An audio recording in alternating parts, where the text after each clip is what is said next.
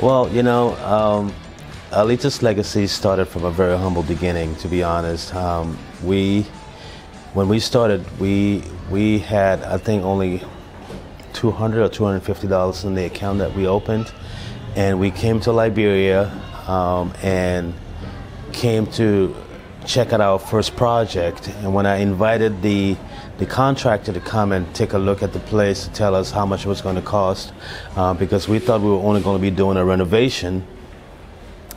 Um, we we got a shock, a shocker, um, because when he came and uh, and and did the assessment, um, and he told us this it's not a safe place for these kids. Um, this wall, you know, may just collapse any time and kill some of these kids in this classroom.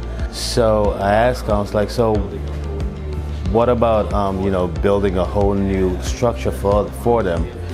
And um, he said, well, um, give me a few days and I'll get back um, to you with um, the, the plan uh, um, and the drawings.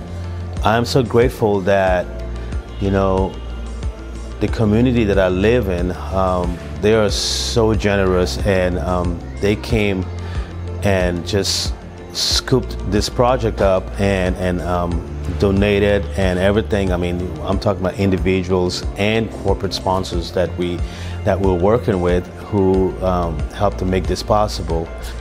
Um, a few corporations right in Destin, you know, um, Setco, Emerald Coast Title Services, um, Simple HR, um, Recon Velocity, uh, um, Newman Dailey, all these people, you know, um, came up and, and, and, and, and helped us. They, the Destin Rotary Club as well um, gave us a huge donation um, that, you know, helped us to, to do what we're doing Northwest Florida Beltone. Those guys, the owners just came and swooped in and just did so much in a short time. Um, and thanks to the Kruger Mainland Foundation who came and pushed us over the finish line um, to finish the school. Um, we're so appreciative to them um, for the generosity. It's going to be interesting um, to see these kids coming to, to the new building when school school reopens.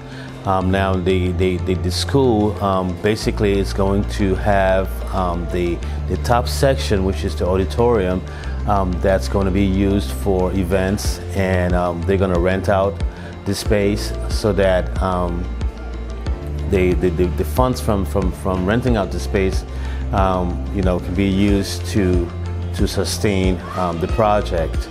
These kids are going to be going to a school that, you know, some that they've never seen in the, in the, in their entire lives, um, where they're going to have an auditorium with, with, with AC, a computer lab, and, and all of this stuff in a public school um, is more or less unheard of here.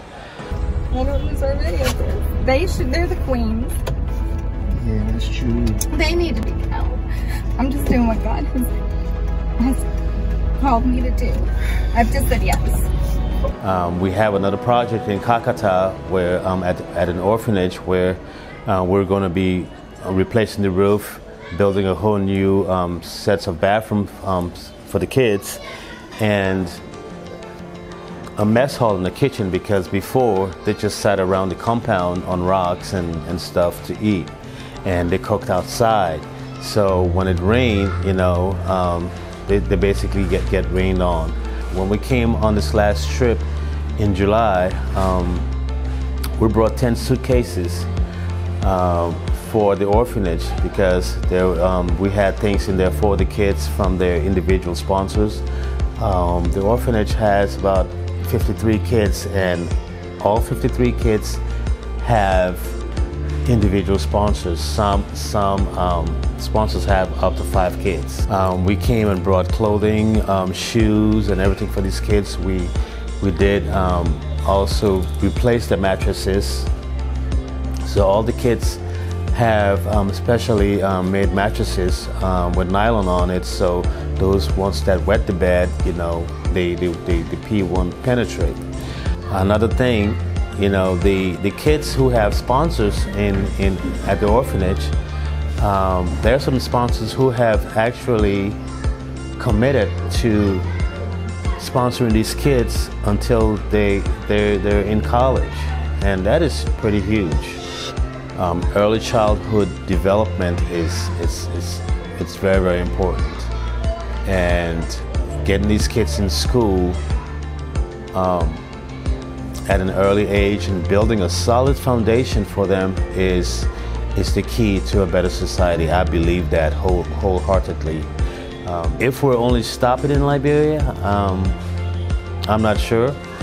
Um, but Liberia has, um, there's so much to be done here. Um, so we're just going, we're going to be here for a while. We have met with a few international um, organizations. We've had meetings and um, I'm hoping that with the partnership, with partnering with them, we will be able to to cover more grounds and do a lot more for for the kids here in Liberia. So, Aletha's legacy. Um, we will be here for, for, for a while, and we will be we will be implementing and um, basically finishing what we started.